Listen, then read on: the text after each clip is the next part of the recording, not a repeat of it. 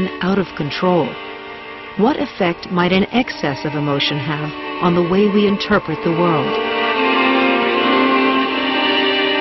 John Sharon has temporal lobe epilepsy. The seizures involve my person and my soul and my spirit, all of it. When I get one of those feelings, though, my whole body just tingles and just, oh, I'm like, that's that. John's epileptic seizures are essentially an electrical storm in his temporal lobes, when a group of neurons starts firing at random, out of sync with the rest of his brain. Recently, John experienced one of his worst episodes to date. He'd gone out to the desert with a girlfriend, and they'd both got very drunk, with disastrous results. John was suddenly hit by a volley of seizures.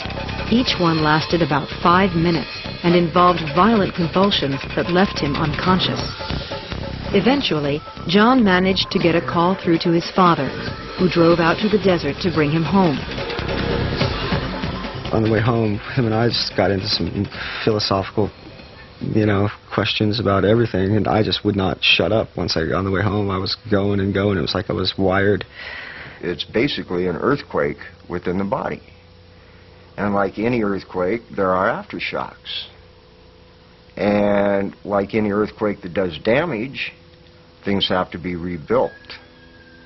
Things have to subside. Mainly what I deal with is the aftermath, particularly with this last episode. It was very much like stepping into a Salvador Dali painting. Okay, it, instantly everything was surreal. And that's, in essence, what his seizures are all about, the aftermath. Um, where it puts his brain, where it puts his memory, where it puts his mind, his thinking ability, everything else. When John's seizures came to an end, he was exhausted, but he felt omnipotent. I went running down the street screaming that I was God. And then this guy came out, and I was just like pelvic thrust at him and his wife, and I was like, "You want to effing bet I ain't God?" And I said, literally, "You asshole, get back in here! What do you think you're doing? You know, you're disturbing the neighbors. You're going to call the cops. What is this all about?" I kind of just looked at him cool and calm and apologized to him, and I'm like, "Nah, no one's going to call the police." Like, it, I didn't say this last part, but I'm thinking to myself, no one's going to call the police on God.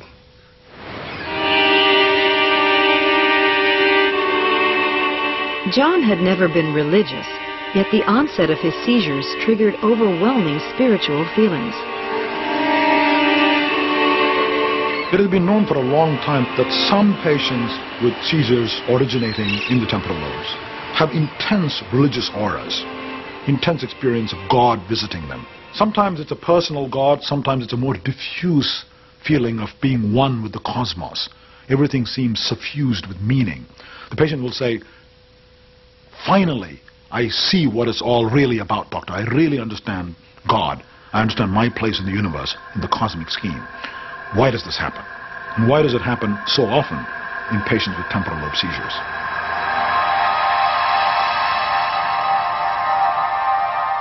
Ramachandran met John shortly after the episode in the desert. He was still feeling the extreme highs and lows that follow his seizures.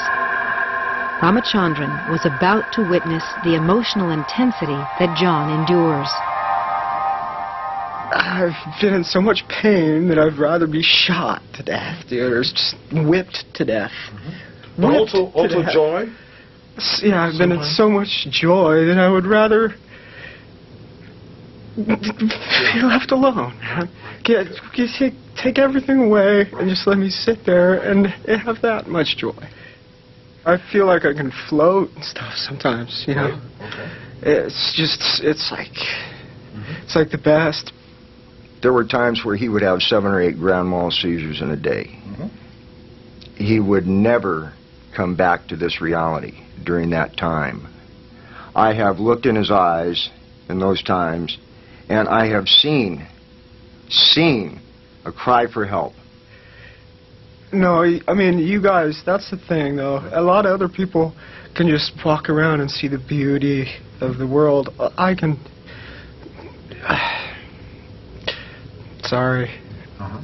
It's not as beautiful.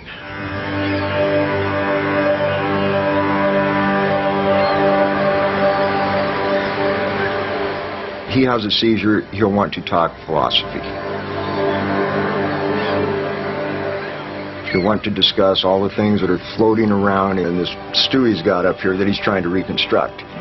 Thoughts that he may have had just, just floating through his mind while he was in a seizure mode Uh-huh. may come surfacing. I see. Okay. Okay, Yeah, yeah. so, But also, uh, you said he's become more emotional because because of the seizure. So that's Mhm. that's helpful too. much more sensitive. But oddly enough, not in regards to himself. Okay. But in regards to atrocities, disasters, things like that, anywhere and everywhere. Ah. Wrongs done to other people. Oh my god. And you know what? I am so right in my own head. I know I could go out there and get people to follow me. Not like these wackos with sheets on their heads. Not like those idiots. Right. But now it's just the new generation of the prophets. Yep. And uh, were all the prophets people that were flopping around on the ground? Is that what this whole message was? The gift from the gods this whole time? That's possible, isn't it? Yeah. I've never been religious ever. People say, no, you can't see into the future. Uh-uh. That's what that gift is, but you gotta pay for it by getting slammed around. Now, why do these patients have intense religious experiences when they have these seizures? And why do they become preoccupied with theological and religious matters even in between seizures? One possibility is that the seizure activity in the temporal lobe somehow creates all kinds of odd, strange emotions in the person's mind, in the person's brain, and this welling up of bizarre emotions may be interpreted by the patient as, as visits from another world uh, or as God is visiting me. Maybe that's the only way he can make sense of this welter of strange emotions uh, going on in his brain. Another possibility is that this has something to do with the way in which the temporal lobes are wired up to deal with the world emotionally. As we walk around and interact with the world, you need some way of determining what's important, what's emotionally salient, and what's relevant to you versus something trivial and unimportant.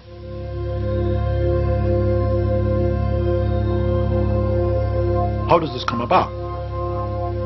We think what's critical is the connections between the sensory areas in the, the temporal lobes and the amygdala, which is the gateway to the emotional centers in the brain. The strength of these connections is what determines how emotionally salient something is. And therefore, you could speak of a, a sort of emotional salience landscape with hills and valleys corresponding to what's important and what's not important.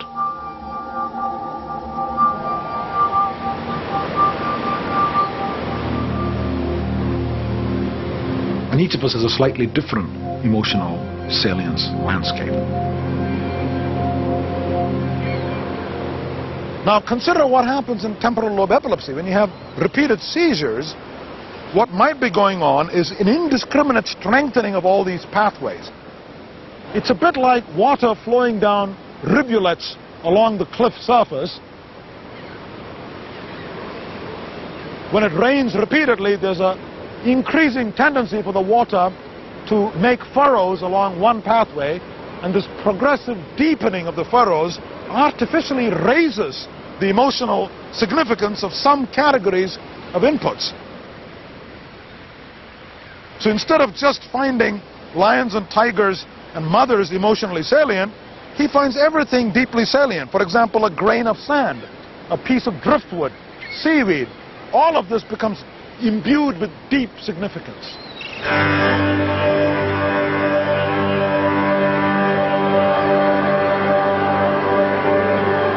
Now this tendency to ascribe cosmic significance to everything around you might be akin to what we call